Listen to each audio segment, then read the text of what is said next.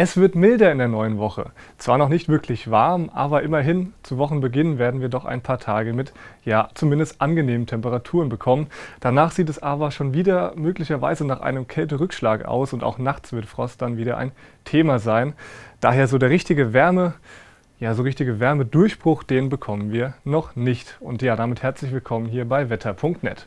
Passend dazu ein Frühlingsbild von Mike Schwarz in unserer Facebook-Community-Gruppe, der ihr auch gerne beitreten könnt. Dann können wir auch gerne eure Fotos hier in unseren Präsentationen, in unseren Videos verwenden. Ja, vielen Dank dafür, passend zu dieser Jahreszeit. Aber das Wetter, das ist noch nicht so ganz der Jahreszeit entsprechend. Wir schauen uns mal die Großwetterlagenkarte dazu an.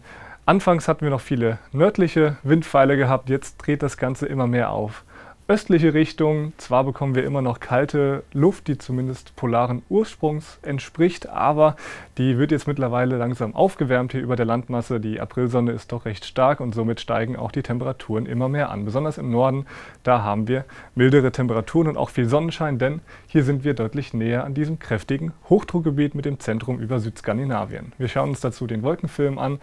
Im Norden heute anfangs noch sehr klar, danach ziehen auch immer mehr Wolken vorüber. Im Süden bleibt es eher bedeckt oder dicht bewölkt. Zum Teil ist es hier auch noch nass. Nachts sieht es ähnlich aus und am Montag, da haben wir im Norden einen verbreitet freundlichen Tag oder nur dünne Schleierwolken, die die Sonne nur selten verdecken. Im Süden mehr Wolken und im Tagesverlauf entstehen hier auch immer wieder Regenschauer. Es gibt dazwischen aber auch kurze sonnige Phasen, aber so wirklich frühlings frühlingshaft ist der Eindruck dort noch nicht. Das sehen wir auch bei den Temperaturen.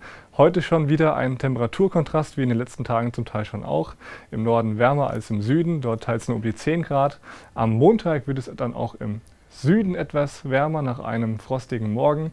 Immerhin schon knapp an die 15 Grad am Rhein zumindest und auch im Norden nochmal etwas milder. Und dann ab Dienstag, da wird es dann bundesweit wärmer, aber im Süden auch weiterhin immer wieder Wolken am Himmel. Diese wechseln sich dann aber auch mit der Sonne ab. Wir blicken mal auf den Temperaturtrend der Luftmasse in 1,5 Kilometern Höhe.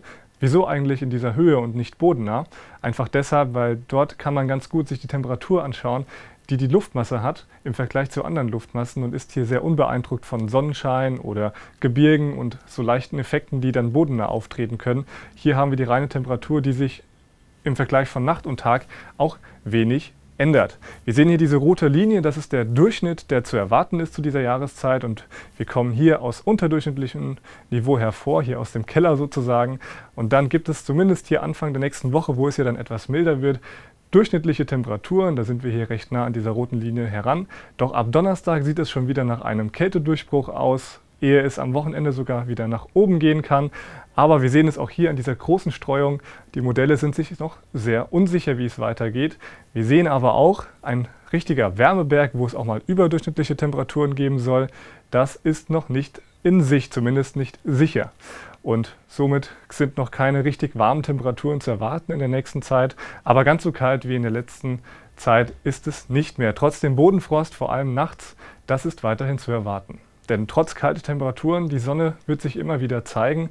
Und wenn sich die Sonne tagsüber zeigen kann, ist es nachts auch oft klar und dann kühlt es auch stark ab, besonders mit diesen kalten Temperaturen. Damit wünsche ich euch einen angenehmen Start in die neue Woche und ich freue mich schon auf das nächste Mal.